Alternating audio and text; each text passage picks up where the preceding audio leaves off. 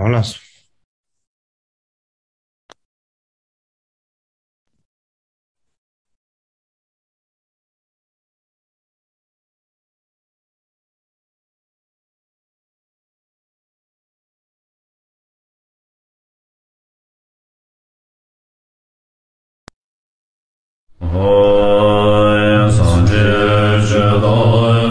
诸佛正法圣僧众，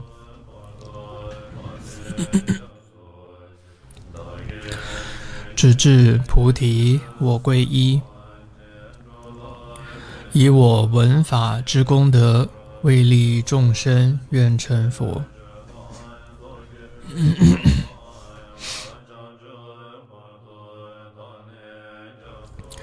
诸佛正法圣僧众，直至菩提我归依，以我闻法之功德，为利众生，愿成佛。诸佛正法圣僧众，直至菩提我归依，以我闻法之功德，为利众生，愿成佛。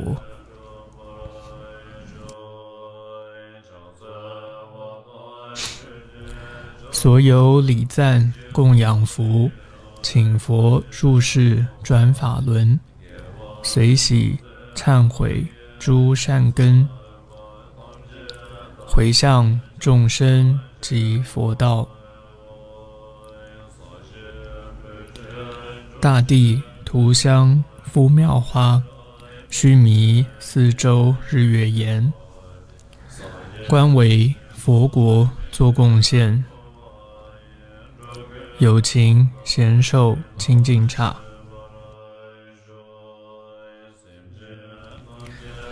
友情思想与心事，随其差别而有之。大乘、小乘与共乘，悉皆其性转法轮。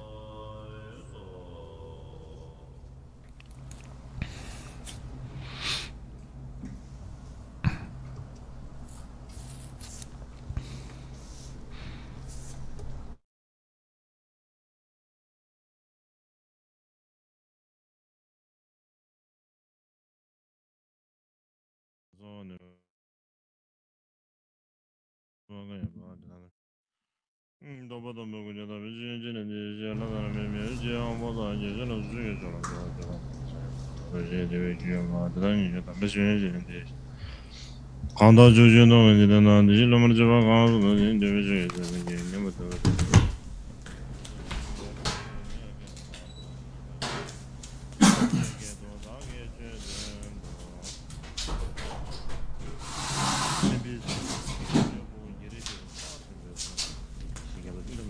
jen raya lama la chake chiche kala kerab yengur jen zeba don du jen la nabo gyawe de ma kuni su zeba ka yurum bu shala chaansu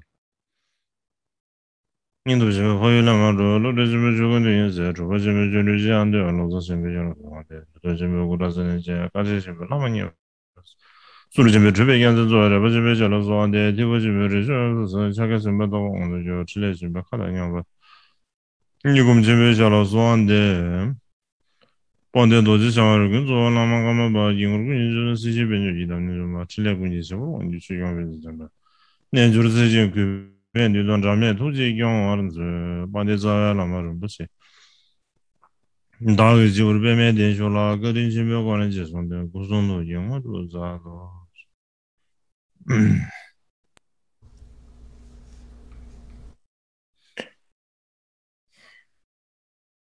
나조 打定，看我。今天，呃，打，呃，听堂别给你们。是第一届这个马二夏季课程的最后一堂课了。首先，一样要问候各个寺院的。啊，善知识僧众们，还有各个中心的喇嘛们，还有东西方的啊，这位呃具备信心的这些弟子们，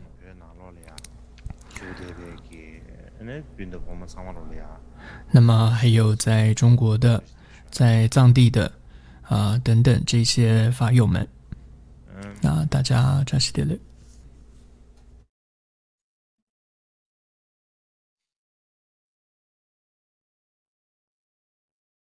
啊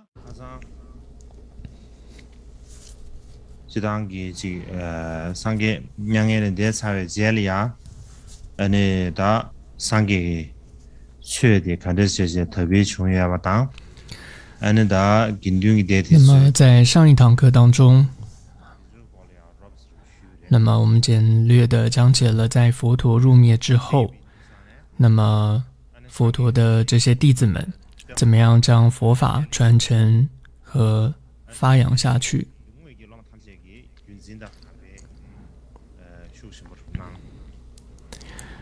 那佛入灭之后呢？这些弟子们啊，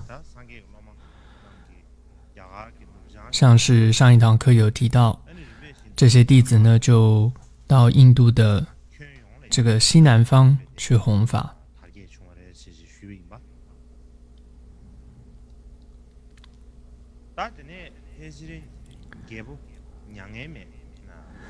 那么，让这个佛法呢，可以说在印度呢广弘开来。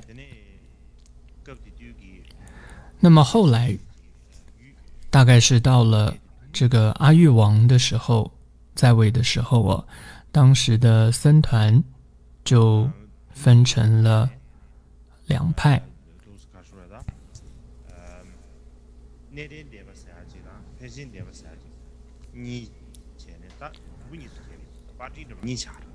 那么主要就分为了这个上座部，还有大众部。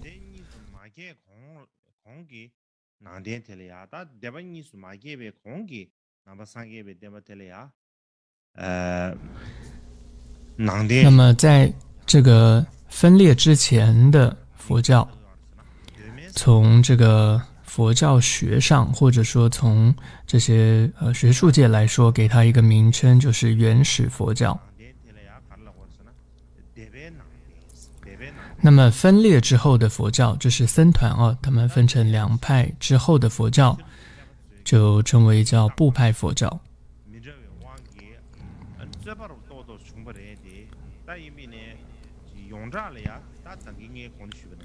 当然后来。东西方现在一些学者对于啊这样的用词哦有不同的一些说法，但是呢，无论如何，对于这样子的一个划分还有命名哦，那么比如说分裂之前叫原始佛教，分裂之后叫部派佛教，那么这是可以说现在就是一个公认的一种说法。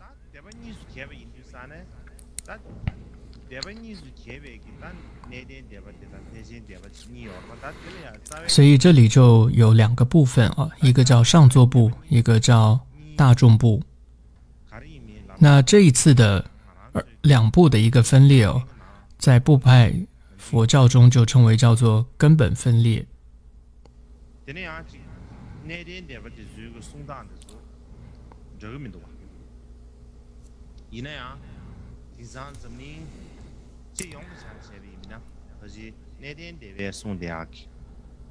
虽然针对这个分裂的部分，在藏传佛教跟所谓的上座部有一些不同的说法，但是现在普遍来说，这个呃，比如说现在普遍的都是依照了上座部的这样的一个说法，所以也就是这里说。根本分裂哦，指的就是部派佛教当中分成了上座部跟大众部。那么接着在根本分裂之后，呃，像是上座部还有大众部，他们各自内部呢，两派的内部又有分裂。那这时候的分裂就称为叫做啊支末的分裂。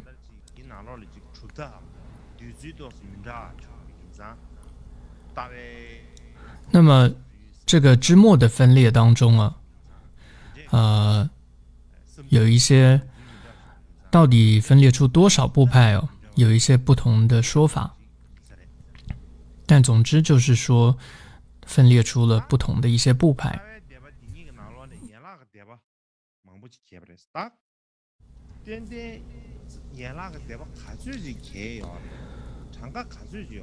那到底说这个分裂之后，部派就是之末分裂成多少个部派？那比较公认的主流的说法哦，是分成了十八个部派。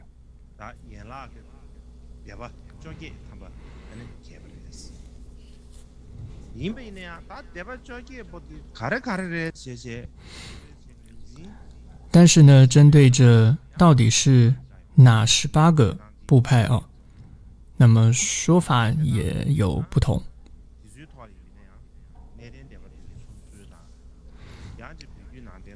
那比如说，在上座部里面的说法，或者在藏传佛教中的说法，或者说北传佛教的说法，都有一些不同。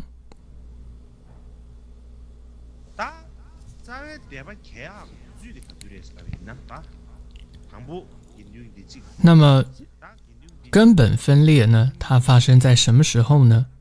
也就是刚刚说分成上座部、大众部这样二部分裂。一种说法，大概推算是发生在公元前二到三世纪的时候。当然，对于这个分裂的时间还是有争议的。就像之前我谈到过，只要谈到年代、时间，这个在印度的各种研究当中就是会有争议，因为他们没有这种历史文献记录的这样的一种习惯，所以只能。透过这些学者们他们的推测，然后来看说时间是什么，所以因此会有不同的说法，而造成了一些争议。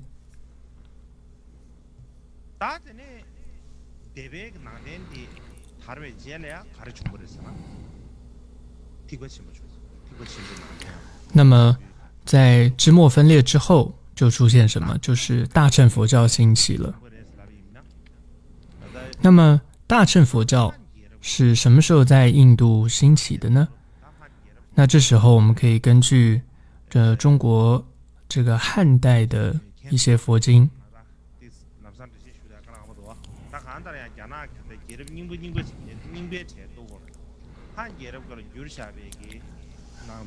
总之啊，僧众们可能对汉代到底什么时候不是很清楚啊，但总之是蛮古早古早一个时代。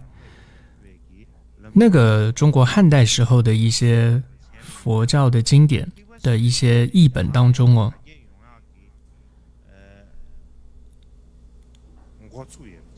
尤其呢是看到后来法显还有玄奘的这种游记中里面的这些记载哦，就很清楚可以看到那时候大乘佛教在印度就逐渐的兴起了，但是。所以大概是那个那个时候，但是至于是什么时候、时间点兴起、怎么出现的，这都还有不同的说法，还需要研究。那这个我们之后再讲。但是呢，有一点蛮确定的，就是可以跟各位说，就是在公元四世纪的时候，就是我们可以十分确定。在印度呢，大概有四分之一的这个寺院，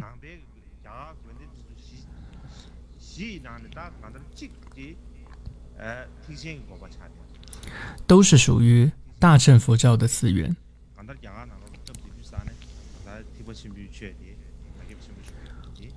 换句话说，这是在那个时代，公元四世纪哦，这个大乘佛教就是兴起的，就是有兴盛的。那大乘佛教之后，那么就是密教兴起。我们基本上可以说，这个密教认为它就是从大乘佛教中这个衍生出来的。那么在密教出现之后，在印度出现之后，一部分就传入了这个中国汉地。那么再从中国呢，再传到了日本。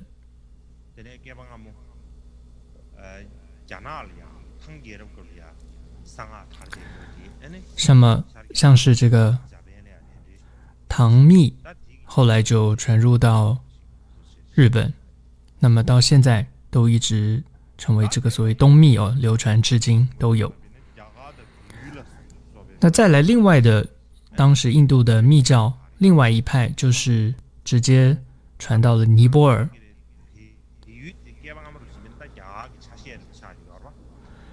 那么再传入，从尼泊尔再传入到了这个西藏。但这里大家要知道，当时啊，那个尼泊尔算是印度的一部分啊，所以啊，算是好像北印度这样一个部分的。所以呢，总而言之啊，这个大概以上谈到就是佛教它发展的一个经过、一个脉络。所以呢。佛教，呃，当佛陀在世的时候，还有在他入灭之后的那时候的佛教称为原始佛教。然后接着呢，这个原始佛教就开始分裂，就分成了上座部跟大众部。在这个分裂的这个时期，就称为叫做部派佛教。那么在部派佛教的这个时候，它有。分裂，所以就称为叫支末分裂。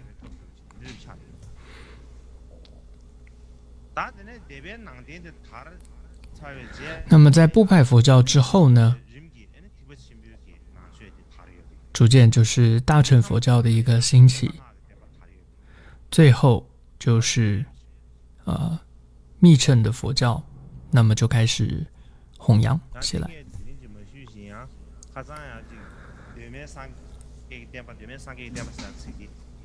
那么，主要是因为前几堂课大概有提到“原始佛教”这个用词哦，所以有一些人可能对于“原始佛教”这样一个词不是很了解是什么意思，所以以上这一段大概介绍一下。那么，另外上一堂课也谈到了这个有关这个呃西历或者说公历的这样的内容。历算哦，那么我们说世纪来讲啊，那么一世一个世纪就是有一百年。譬如说，公元一世纪，它指的就是公元元年到一百年。那就是呃，上一堂课没有讲清楚，这里可能再跟各位僧众再说一下。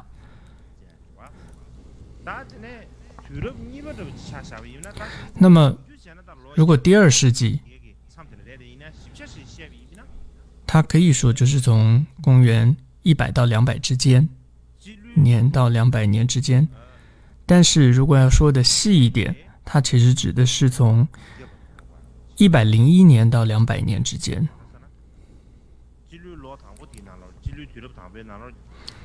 因为呃，公元第一百年，它其实是算在了这个呃第一世公元一世纪里面，那么已经过了，所以公元二世纪开始的时候是应该从一百零一年开始。总之哦，大家要知道，就是一个世纪它就是指一百年，大概是这样。那么这是补充一下。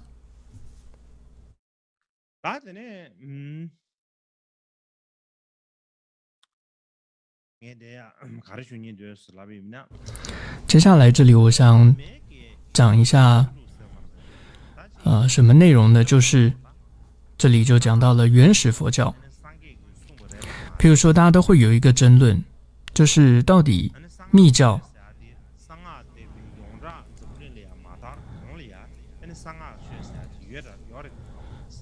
到底它是不是原始佛教时候就有了，或者说？它是是什么时候开始的？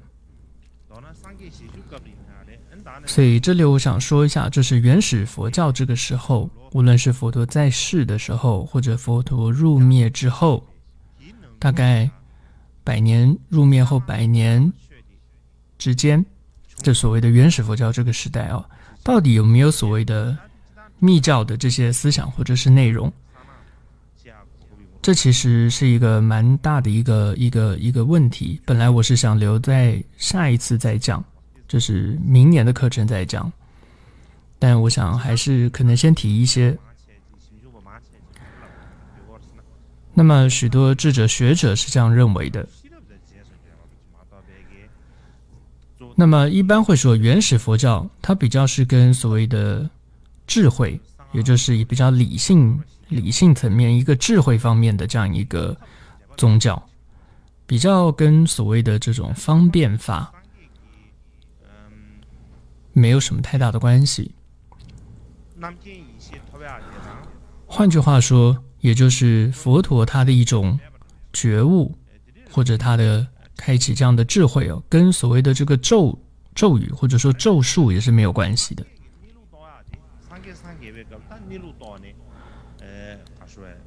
这是一般学者是这么认为的，就是说佛陀觉悟跟咒术没有关系。这是因为佛陀他了悟的这个法是透过他的智慧了悟的，所以我们会说佛陀成佛是指他因为智慧这个了悟了实相而成佛，不会是因为说他懂什么咒术。而成佛的，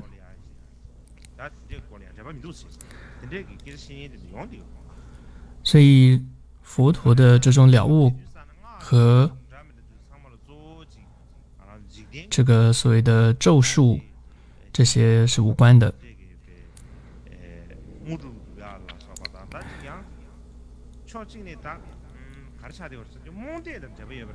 所以，总之呢，那时候的。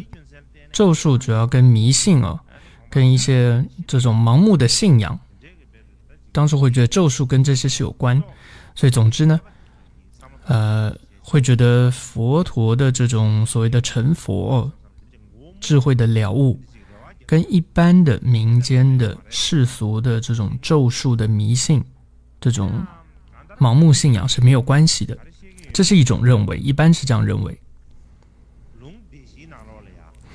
那，但是我们看到在《阿含经》当中哦，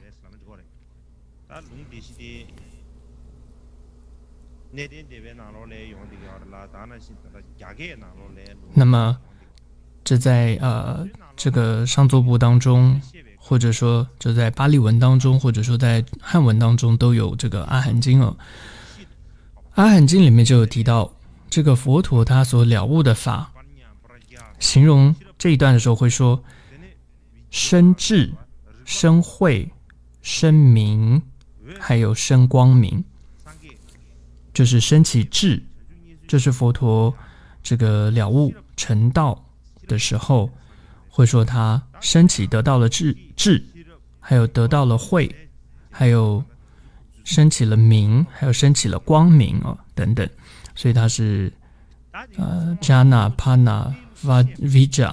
啊，还有阿罗卡这样四个东西，四个部分而了悟。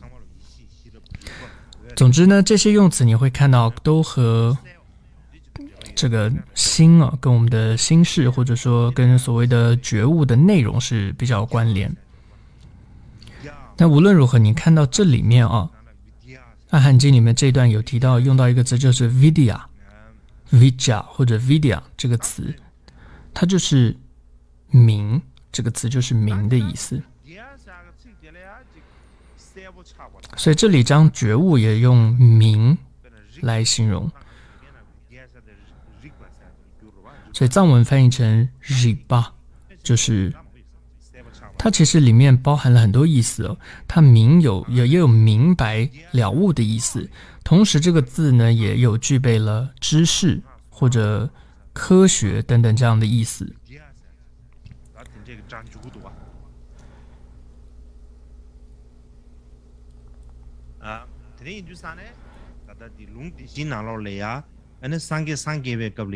所以这里看到《阿含经》里面哦，就有提到佛陀了悟时，就说得到了升起了智，升起了慧，跟升起了明，还有升起了光明等等。从这里要讲是这个明，它其实不只是指说了悟这个明白的明，它也代表有咒语、咒文的明咒的意思，咒文的意思。那么，就像之前课堂中有引据过一个叫《梵网经》，虽然我们在《梵网经》当中，我会看到说，那么就像我们在更早课程中有谈到，印度当时哦，后来就变成是人民都很相信、迷信这种嗯咒术，所以啊，很多人就开始喜欢这种。呃，对于这种咒术产生这种一种迷信、盲目的信仰，所以我们从《梵网经》当中就看到里面有提到，很清楚的提到说，否定这种迷信的咒咒语哦，还有这种占卜等等的行为。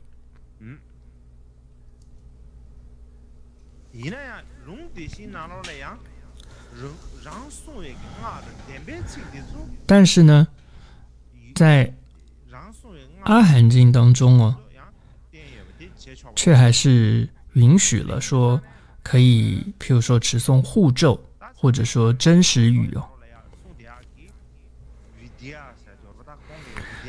所以，总之这里谈到一个词叫明咒。所谓的明咒，这是在梵网一般来说，梵网经当中呢，它所否定的。排斥了这种名这种密咒，它就是所谓的名，或者叫所谓的名咒，就是 Vidya Vija。所以当时佛陀有说，僧众是不可以这样念的。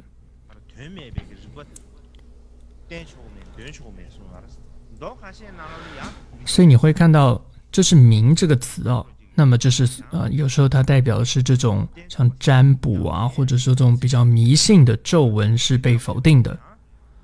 但是你看，原始佛教当中又提到有一些名是代表了智慧、代表了觉悟的意思，所以有一部分是被否定的，有一部分是肯定的。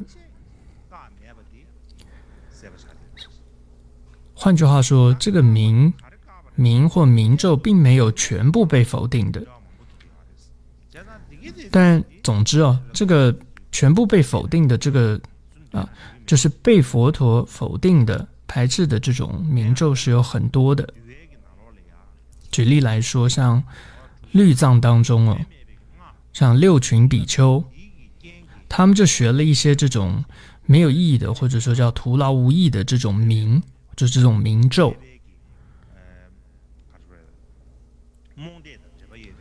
主要就是跟这种所谓徒劳无益的咒、名咒，就是这种迷信的咒语，所以佛陀就禁止了。但是呢，我们又看到比丘的两百五十条戒的这种条文当中哦，并没有一条戒说禁止僧众说比丘去持诵这种徒劳无益的名、这种咒的这种条文，并没有。所以，总之，原始佛教当中，就在社会上。是的确否定跟排斥了很多这些当时社会上的这种没有意义的徒劳无益的名或者这种名咒是被否定了、禁止了。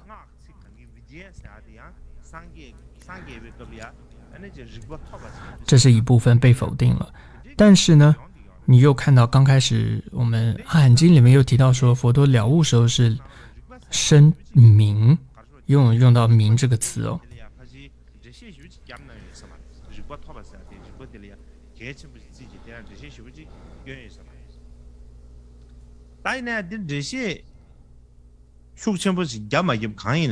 所以呢，一部分说原始佛教当中很清楚名或名咒是被否定的，但是呢，这个名 “vija” 这个词呢，在原始你可以说在原始佛教当中没有被常用到，你就知道它是被否定的比较多。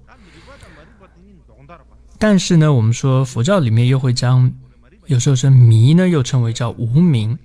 就是刚刚的那个名 Vija 跟 Vidya 前面加一个 r，所以就是变成 Avija、Avidya，就是无名。所以换句话说，觉悟就是跟无名相反的这样一个名。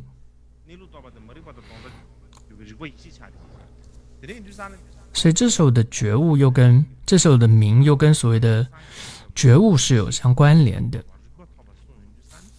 所以我们看到在阿含经刚刚有谈到过，就是呃生智啊、生慧、生明啊。所以这个明这个词不见得完全是被否定的，而是它诶跟这种觉悟，甚至跟这个秘密的这种咒语是有关系、关联性的。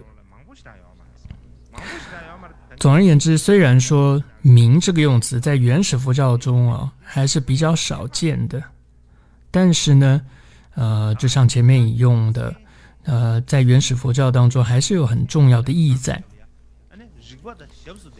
譬如说，另外还有在呃佛的十个名号当中，就有一个叫“明行具足”，这里的“明”呢，它也就是 Vija。还有呢，像是。三明就是三种通，宿命通啊、天眼通、漏尽通。它这里的明呢，也是，就是叫 Tiso Vija，也是用 Vija Vidya 这个词。所以呢，总之明或者说明咒，后来又翻明咒或明，也就是 Vija 这个用词不一定就是那些只被否定的迷信的或者这种徒劳无益的明咒。有时候它也有正面的意义在，譬如说代表了觉悟，代表了能够啊智慧的升起，就像那里说生明、生智、生智、生慧、生智、生明等等。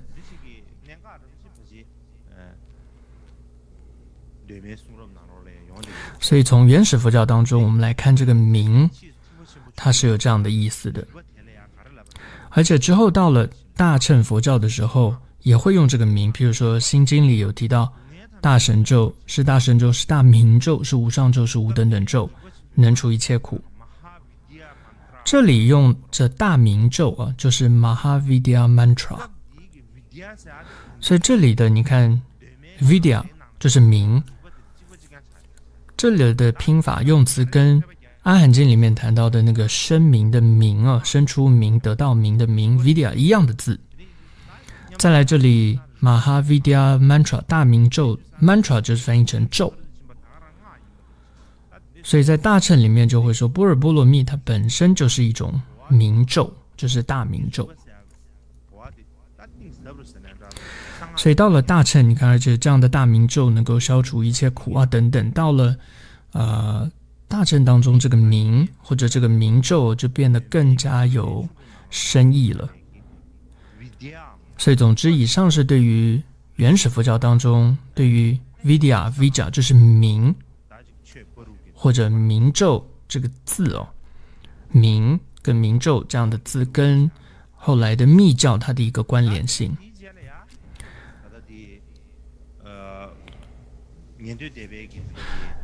再来呢，在阿含经当中呢，也有提到一个字叫做护咒。它叫做巴瑞达，巴瑞达的意思是什么呢？就是你为了要护身而用的一些咒文，这在原始佛教当中是被允许的，可以持诵的。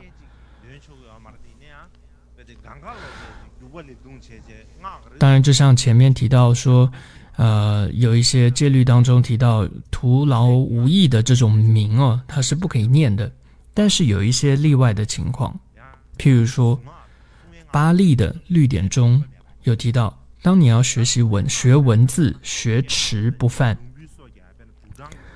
就是意思是说，你为了记忆文字哦，可以学习陀罗尼咒。这里的持就是达拉尼哦，陀罗尼咒总持咒。还有在一些律典中说到，你为了治疗肚子痛啊、腹痛，还有降服外道，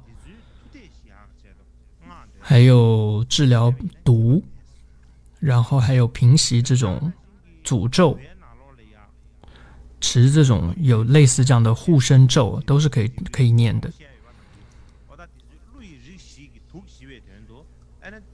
还有特别呢，是原始佛教中还允许，譬如说避免毒蛇、毒蛇难的这种咒啊，也是可以念的。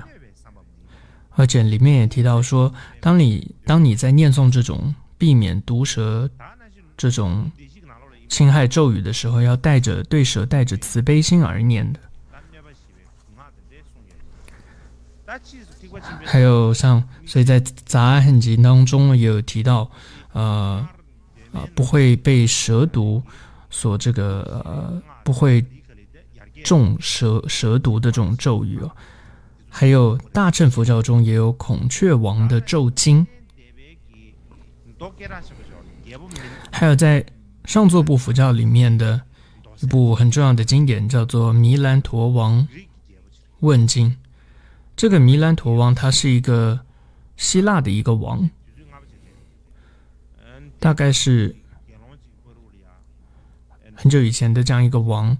他这部经就是总是这样一个王跟一个比丘之间的一个对谈。那这里面也有提到很多的护咒，所以总之呢，像这里当时。原始佛教当中就有很会念诵很多这种护咒，所以虽然原始佛教刚开始啊，我们呃有提到刚开始有提到说原始佛教它否定跟禁止了很多这一些啊迷信的就没有意义的咒语，但是如果为了护身。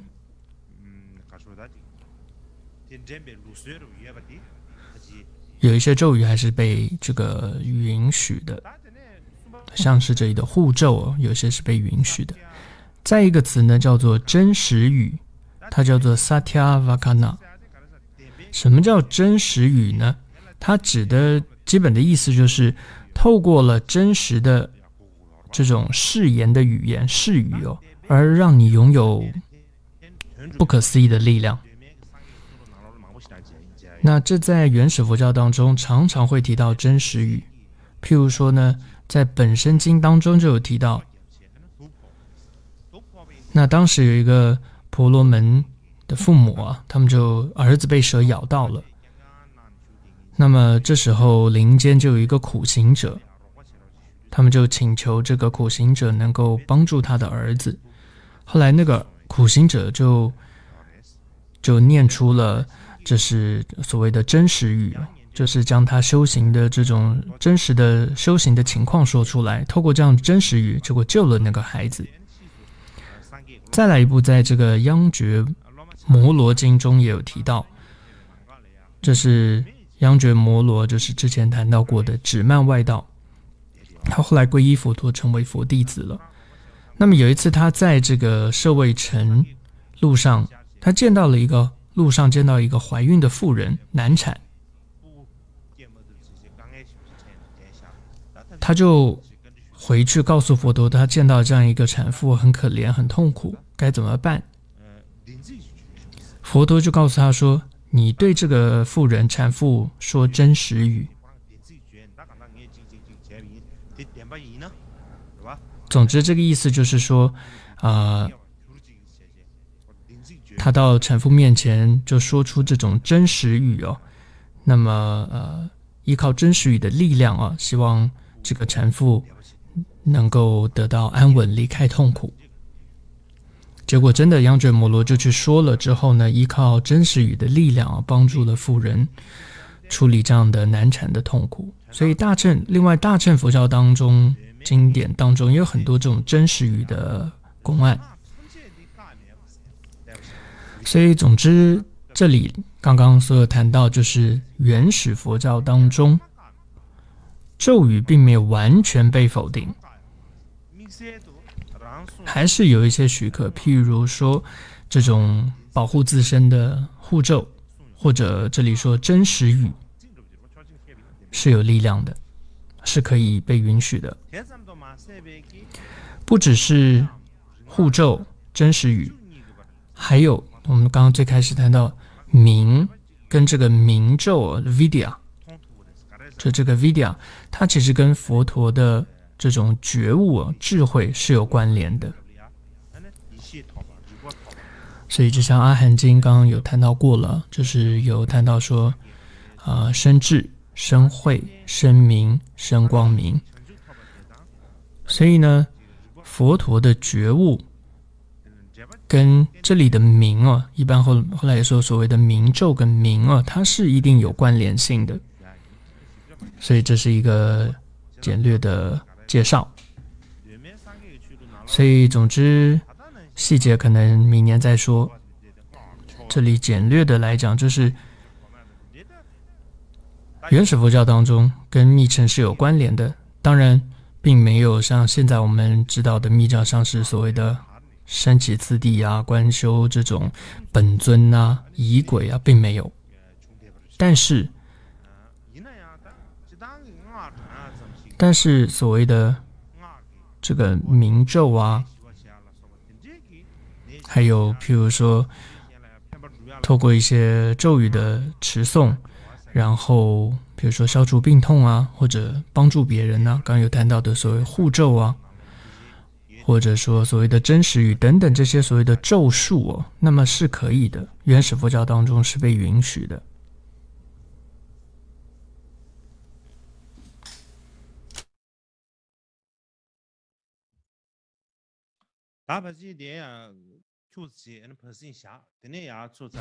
好，这里我们先稍微休息一下。然后之后再继续讲。